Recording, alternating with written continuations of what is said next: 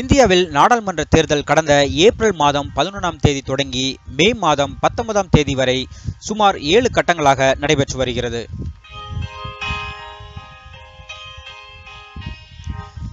இதனால் வாக்குப்பதிவு நடைபெறாத நேரங்களில் அந்தந்த தொகுதிகளில் ஒவ்வொரு கட்சியும் தேர்தலுக்கு முன் தங்களுடைய பிரச்சாரங்களை செய்து வருவது வழக்கம். அதே நேரத்தில் பிரச்சாரத்தில் விலங்குகளை பயன்படுத்தக்கூடாது என்பது தேர்தல் விதிமுறை. ஆனால் அதை தற்போது பாஜக மீறி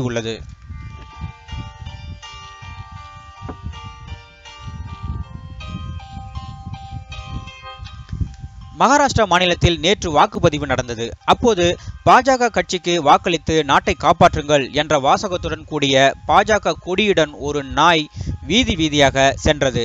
இதை கண்ட தேர்தல் அதிகாரிகள் அந்த நாயை மடக்கி பிடித்தனர்.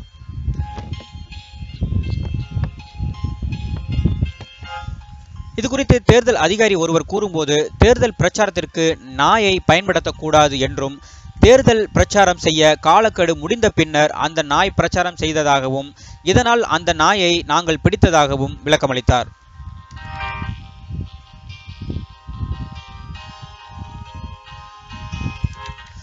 இது மட்டும் அல்லாமல் விதியை மீறி நாயை வைத்து பிரச்சாரம் செய்த அந்த நாயின் உரிமையாளர் கண்டுபிடிக்கப்பட்டு கைது செய்யப்பட்டார். மேலும் அவர் மீது தேர்தல் ஆணையம் வழக்கு பதிவு செய்தனர்.